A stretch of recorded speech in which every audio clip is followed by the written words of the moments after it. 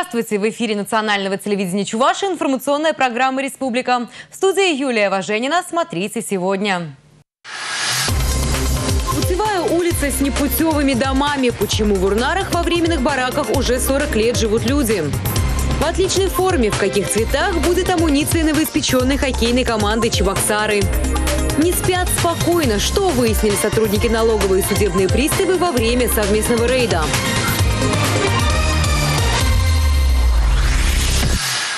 Планы обозначены. Сегодня глава Чувашии провел расширенное совещание с активом Комсомольского района.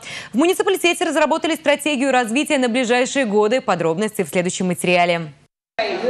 Перед тем, как провести встречу с активом района, Михаил Игнатьев посетил один из крупных сельхозкооперативов муниципалитета. Каждый день сюда поступает более 30 тонн молока. После тщательной проверки и пастеризации сырье отправляют в регионы Поволжья и даже Москву. Предприниматели говорят, назрела необходимость модернизации цеха и покупки нового тягача. Из бюджета кооператив получил грант в размере 5 миллионов рублей. Вы стратегически прикинули, как будете конкурировать э, на потребительском рынке? Потому что надо же одно собрать, другое дело надо продавать. Ну, пока планы есть, вроде договоренности тоже есть. Как бы, ну, рынок уже поделен, таких прям сильных изменений, я думаю, не должно быть.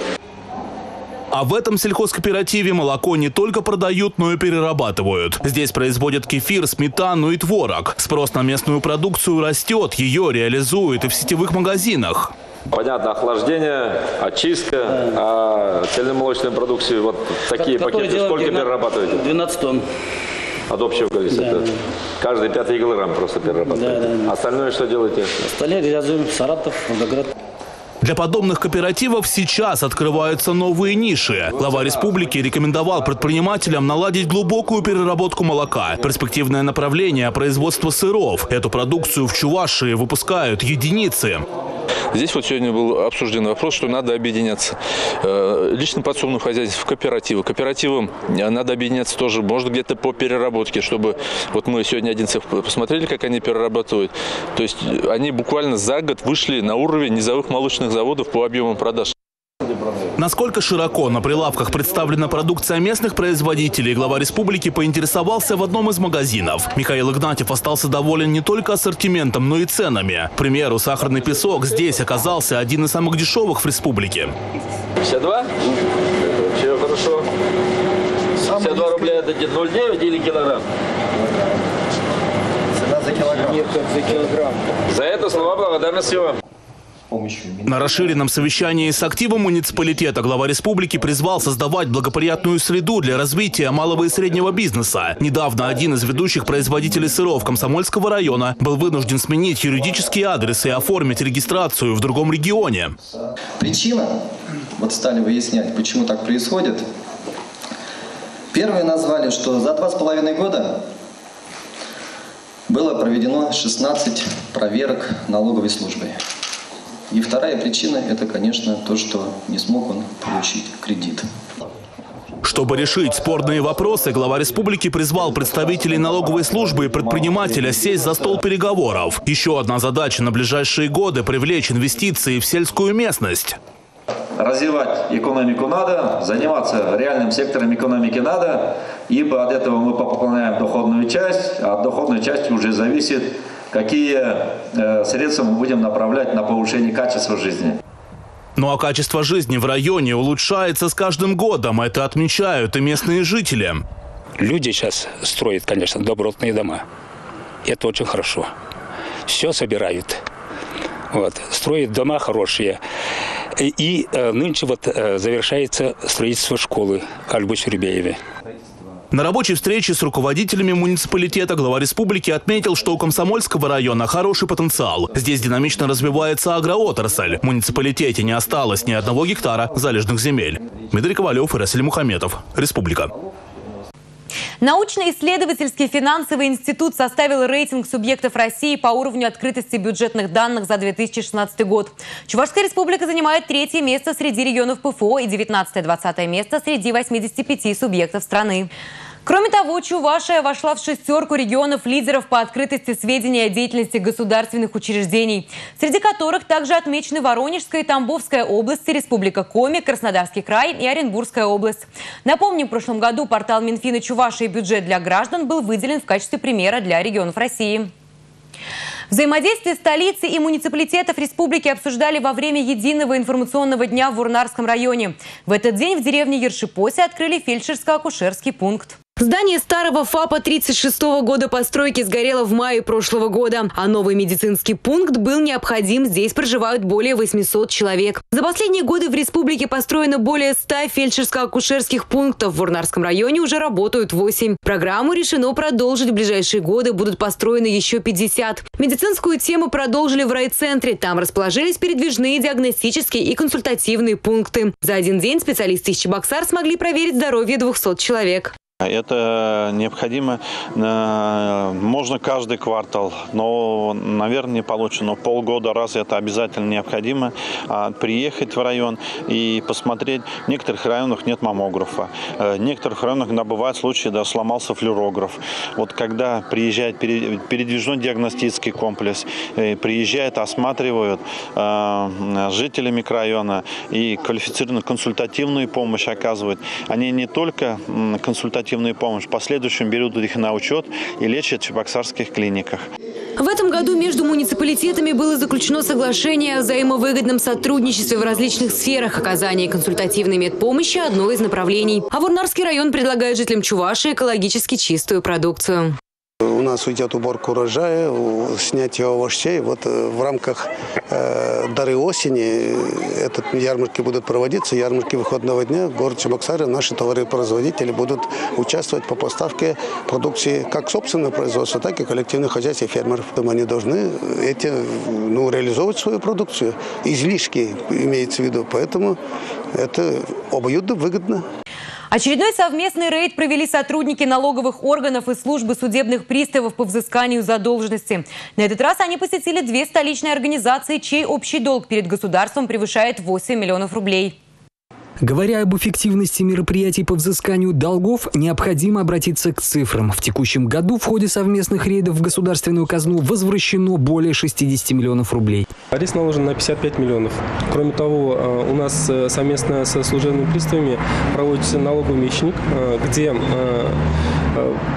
взыскивается налоги, налоговая задолженность совместная служба судебных приставов. Целью сегодняшнего рейда стали организация «Галерея» и «Кариатида». Первая задолжала государству более 200 тысяч рублей, вторая – более 8 миллионов рублей. Результатом рейда стал арест имущества. Галерея – это а, земельный участок и объект недвижимости а, общей площадью 150 квадратных метров. Кроме того, было выставлено ограничение по кассе, где а, присутствие исполнительного директора произведена была проплата на сумму 2500 рублей. В строительной, в Креатиде же мы, выше выйдя по адресу, наложили арест на автомобиль «Газель». Налоговики напоминают, рано или поздно задолженность придется погашать. При этом в случае привлечения привлечения судебных приставов должнику придется дополнительно оплатить исполнительский сбор. Родион Архипов, Андрей Спиридонов. Республика. Национальная цель радиокомпании Чувашии проводит жеребьевку по распределению эфирного времени на платной основе на национальном телевидении Чувашии, национальном радио Чувашии и Таван радио для проведения предвыборной агитации по выборам депутатов Госдумы России. Жеребьевка состоится 18 августа в 16.00 по адресу город Чебоксары, проспект Ленина, дом 15, вход со стороны улицы Энгельса, рекламный отдел, кабинет 111, справки по телефону 64 11 11. Временные бараки для работников железной дороги в Вурнарском районе, которые возвели в начале 70-х годов, стали постоянным жильем для 24 семей. Забытую всеми улицу посетили представители Общероссийского народного фронта и наша съемочная группа. У жителей улицы Путевой в Урнарах, которую они сами называют непутевой, есть одна верно работающая примета. Если вывезли мусор из баков, значит приедет Общероссийский народный фронт. Дело в том, что даже эти баки жильцам поставили после одного из визитов ОНФ. Мусорные баки, туалет, тротуары. Без них, конечно, плохо, однако это не самые главные местные проблемы. Дело в том, что бараки, которые стоят буквально в 30 метрах от железной дороги, на протяжении многих лет переходили из рук в руки и в итоге оказались бесхозными. Почти все документы на них утеряны, а значит делать ремонт или расселять людей просто некому. Сразу заметил, что нам какие делаем, делаем, все равно. Вот. Провалиться не боитесь? Боимся. А уже Да, проваливаемся уже. Да? Да. у вас уже проваливается? Вот тут. Почти все. Вон там в дырке. Возводили бараки как временное жилье, однако сработала известная поговорка. И возраст бараков перевалил за четыре десятка лет. Уже все сгнило, все гниет. Когда поезда проезжают, все трясется. Крыши уже вода течет. Чтобы изменить ситуацию, нужно сначала официально признать дома безхозяйными. В суде эта процедура занимает около года, а затем передать в собственность муниципалитету. После оформления муниципального образования мы будем уже в комиссию выходить и признавать их ветхоаварийно для последующего включения в программу ветхого аварийного жилья. Наверное, до конца года успеем. Обращались жители микрорайона СМП уже года два назад, писали письма, обращения, и мы неоднократно здесь бывали. И ситуация, мне кажется, изменилась в лучшую сторону. И будем надеяться, да, и мы будем контролировать ситуацию до полного решения. Улица Путевая – не единственный проблемный адрес в Урнарах. Дом по улице Ашмарова со счастливым номером 13. Такого не встречали даже много повидавшие эксперты. Это пока временную подпорку поставили, чтобы доски не упали. Потому что сюда приехали гости, и там дети э, как раз бегали. И чтобы дети не упали, мне потом не винили. Я позвонила жилинспекцию Чебоксарскую. Чебоксарская инспекция заставила э, это уже ЖКХ нашу. И вот они в течение трех дней, в течение трех дней они поставили подпорку временную. Так и стоит, это уже теперь жить можно. Ремонт сделан на бумаге, так пишут. Наша администрация. А представители городской администрации – другое мнение. Вот это всего как бы не было. Это уже сама нанимательница, она штукатурка отбивала, при- приходила. Ну, это вы можете говорить. Нет, нет, подождите, под- подождите, подождите. Когда мы первый раз здесь были, был только маленький участок. Этот участок, он превратился уже вот в такое. Я говорю, в 2014 году он был маленький участок. Это она сама приходила вечерами и э, штукатурка отбивала. Это муниципальная квартира. Было э, в 2014 году решение суда э, как бы отремонтировать эту муниципальную квартиру. Был проведен аукцион. Но, к сожалению, как бы вот э, нанимательница этой квартиры э, не дала подрядной организации э, провести этот ремонт. Межведомственная комиссия вынесла решение. Жить можно, но после ремонта, отметил начальник отдела ЖКХ и строительства. Несогласные с таким выводом хозяйке придется оспаривать это решение, судя по всему, еще во многих инстанциях. Ольга Пырочкина, Олег Якимов, Республика. Чувашские полицейские задержали подозреваемого в хищении дорогостоящих мобильных телефонов из магазина в Новочебоксарске. Несмотря на то, что торговое помещение находилось под защитой частной охранной организации, похитителю удалось скрыться до приезда группы задержания. 7 мая около 4 часов утра в Новочебоксарске злоумышленник, отжав входную дверь, проник в магазин компьютерной, цифровой и бытовой техники, расположенный на улице Винокурова. Мужчине, которого запечатлела камера видеонаблюдения, удалось похитить 29 мобильных телефонов престижных марок на общую сумму почти 800 тысяч рублей. Торговое помещение находилось под защитой частной охранной организации, но злоумышленнику удалось скрыться до приезда группы задержания. Было установлено, что после совершения преступления он э, на поезде э, выдвигается в город Москву, где встречается и в последующем через своих связей э, реализует данные похищенные телефоны. Лицо, совершившее преступление, это житель Мордовии, города Саранск.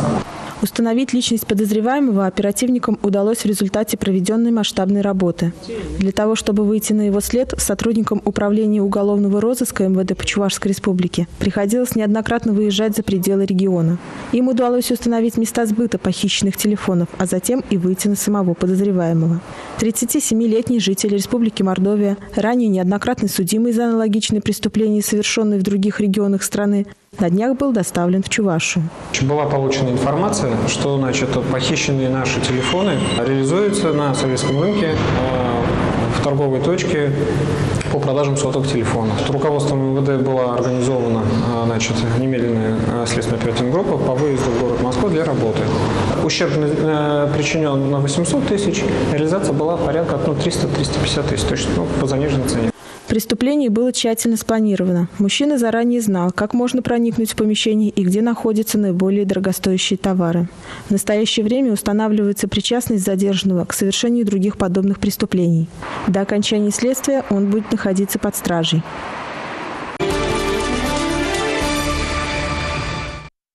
Теперь Союз профессиональных писателей Чувашии и Национальная библиотека – официальные партнеры. Договор подписали председатель Союза Геннадий Максимов и директор библиотеки Светлана Старикова. Союз профессиональных писателей и Национальная библиотека давно сотрудничают в сфере продвижения национальной книги. Проводятся совместные межрегиональные конференции, семинары, республиканские фестивали и конкурсы, встречи с писателями, презентации книг, литературные вечера. Теперь эта работа подкреплена официальным документом. В рамках договора планируется реализация проектов, целевых программ, конкурсов и акций, направленных на популяризацию современной литературы писателей республики. Чтобы увидеть мир во всем его великолепии, этим людям недостаточно оглянуться вокруг. Каждый новый день они встречают с опаской. Шум воды, незнакомые люди, новые предметы – все это может вызвать панику у аутистов. Существует несколько методов лечения этой болезни. Подробнее об одном из них в нашем следующем сюжете. Знакомьтесь, это Цезарь, самый упрямый и своенравный конь Чувашской школы ипотерапии. Однако именно к нему дети с особенностями развития тянутся больше всего. Ипотерапия считается одним из лучших способов социализации людей, страдающих аутизмом. На сегодняшний момент у нас занимаются детки, у которых стоит задача э, работы с опорно-двигательным аппаратом и поработать с психоэмоциональным состоянием. Это уже многолетняя, многовековая практика. Все волшебство заключается в тех импульсах, которые исходят от лошадки. Лошадь становится связующим звеном между аутистом и окружающей реальностью. Во время занятия аутист остается внутри своего безопасного и привычного мира, но в то же время вынужден взаимодействовать с окружением. Первые результаты Елена заметила уже через месяц после занятий. Однако для закрепления результата понадобился еще год совместно с ипотерапевтом работы. В прошлом году как раз мой сын пошел в первый класс, и он очень был неусидчив на уроках. Но после того, как мы на лошадке стали кататься, а, у нас даже, знаете, а, пошло на улучшение. Более усидчив стал на уроках. А учителя заметили, что Миша был, стал спокойнее. И самому ребенку очень понравилось кататься на лошади. Вот. Начали писать буквы. Буквы стали ровные. Если раньше мы могли одну букву на целую страницу А4 написать, то после, вот я считаю, после ипотерапии терапии у нас буковки стали уже ровненькие и только такие, какие нужны по размеру. На сеансе ипотерапии приходят и совсем взрослые люди с умственными и физическими отклонениями. Конечно, верховая езда не способна полностью заменить медицинское лечение. Однако она помогает значительно улучшить качество жизни инвалида. Дарина Игнатьева, Сергей Адушкин, Республика. Новоиспеченный хоккейный клуб «Чебоксары» в форме, причем во всех смыслах слова. Сегодня столичным богатырям вручили амуницию, в которой уже завтра они предстанут перед зрителями на их первых официальных соревнованиях. Старт нового сезона первенства высшей хоккейной лиги не за горами. А это значит, что команда в полной боеготовности. Не доставала формы, но вот и она. Первым свой свитер примерил капитан хоккейного клуба «Чебоксары» Игорь Кокунько. Знакомый хоккейной публике Чувашии по прошлому сезону. Уже с 18 числа зрители смогут увидеть его на льду Чебоксары-арена. Команда готовится к первым в истории клуба соревнованиям – турниру на Кубок главы Чувашии Михаила Игнатьева. Настрой только боевой. У нас задача задача, чтобы побеждать в каждой игре, по крайней мере, стараться это делать и полностью отдаваться игре. Мы не думаем о других командах. Мы строим свою команду, свою схему игры, свою тактику. И завтра будет проверка хорошая для нас, что мы можем и над чем стоит работать нам. Обладатель главного трофея определится 21 августа. И вечером того же дня на Красной площади состоится официальная презентация хоккейного клуба «Чебоксары» – команды, которая будет отстаивать честь нашего региона на первенстве ВХЛ. У нас задача стоит, конечно, серьезная, попасть в четверку. Э, считаю, что с таким составом, с таким тренерским подбором хоккеистов у нас все получится и мы выполним эту задачу.